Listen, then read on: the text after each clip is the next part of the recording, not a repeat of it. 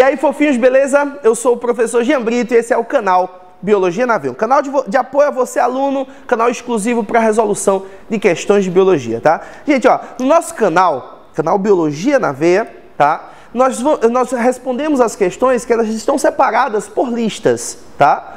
Listas de assuntos ou listas de prova. Quer achar nossas listas? Vai lá na barra de tarefas, lá, canal principal, vai lá na página principal do canal, na barra de tarefas, você corre um pouquinho assim para a direita, na parte superior, e acha lá onde tem sobre. Clica em sobre, que lá vai ter as listas das nossas questões aqui em PDF, tá? Sempre que a gente vai começar uma lista, a gente disponibiliza essas questões para você, aluno. Caso você queira, você responde primeiro e depois vai lá assistir as, as resoluções dessas questões, tá bom?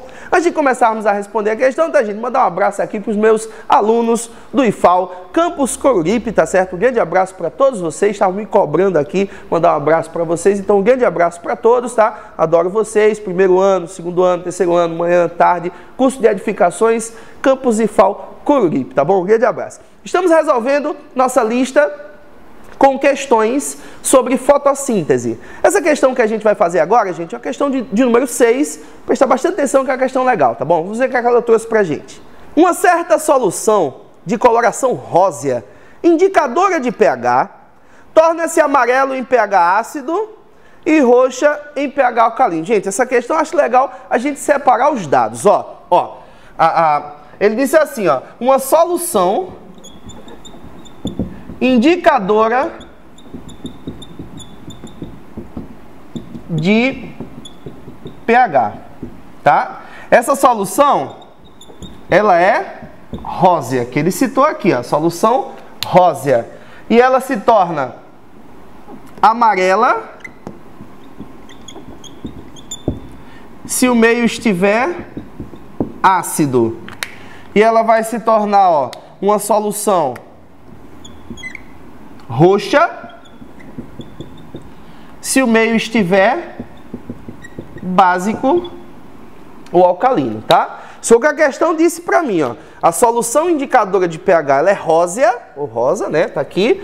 Se torna amarela se o meio estiver ácido, se torna roxa se o meio estiver básico, tá bom? Vamos voltar para a leitura da questão. Diz assim: Em um experimento, uma quantidade dessa solução é colocada em tubos de ensaio que são hermeticamente fechados por rolhas. No interior de cada tubo coloca-se uma folha que fica presa à rolha, conforme mostrado no esquema abaixo. Alguns desses tubos são mantidos no escuro, lote A, e outros ficam expostos à luz, lote B. Vamos anotar isso, gente, ó. ó. Lote A e o lote B, tá certo? Lembrando, todos os recipientes receberam essa soluçãozinha rósea, tá? E eh, as plantas foram divididas em dois lotes, tá bom? Lote A ficou no escuro. E o lote B no ambiente iluminado, ambiente exposto à luz. Estou tá? só separando os dados da questão. Vamos continuar com o enunciado da questão. Após alguns, algum tempo, Espera-se que a solução nos tubos do lote torne-se. Gente, olha que interessante, ó. É, se o lote A está no escuro, eu posso dizer que nessa folha ocorreu apenas respiração. Tá? Nessa folha aconteceu apenas respiração. Respiração celular, tá? Se o lote B recebeu luz, eu posso dizer que nesse lote B teve fotossíntese.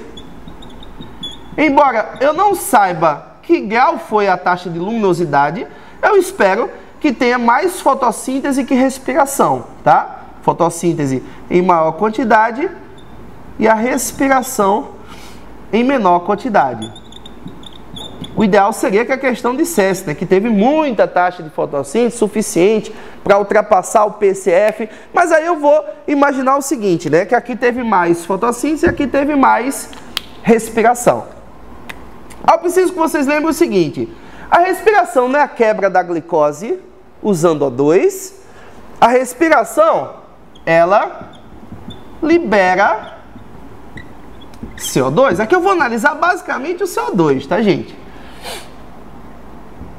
Como aqui eu espero que tenha tido mais fotossíntese que respiração, no lote B, a gente vai ter a utilização, a absorção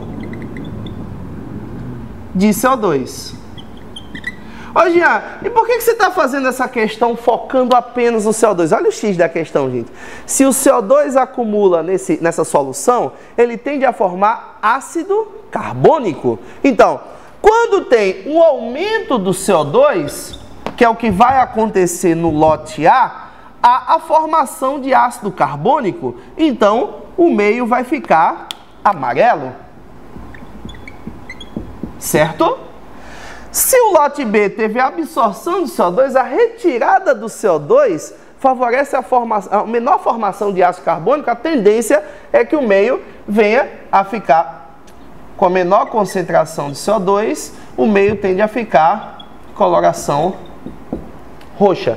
Eu vou buscar a alternativa que diz isso para mim, tá? Percebam que eu foquei a minha resolução analisando se ia ter absorção, se ia ter liberação de CO2, ó a, a respiração libera CO2 e a fotossíntese absorve, utiliza CO2. Se há liberação de CO2, aumenta a concentração de CO2 no meio. Se aumenta a concentração de CO2 no meio, aumenta a acidez. Se há fotossíntese, retira esse CO2 do meio. Se retira esse CO2 do meio, a tendência é que o pH fique um pouco mais básico, coloração vá para roxo. Vamos analisar as proposições agora. Então, a questão diz assim: após algum tempo, espera-se que a solução nos tubos do lote A torne-se. Gente, tubos do lote A torne-se amarela devido à liberação de gás carbônico pela folha. E a do lote B torne-se roxa devido ao consumo de gás carbônico pela folha. Foi exatamente o que a gente analisou aqui, tá, gente? Aqui houve consumo de gás carbônico, porque teve luz, aí teve fotossíntese. E aqui teve no lote A liberação do CO2 se tornou amarela. A resposta dessa questão, gente, letra A, pode marcar aí a resposta certa, tá bom? Letra B dizia assim, a, a, a, o lote A se torne roxo, não vai ficar. A letra C, amarela, tudo bem.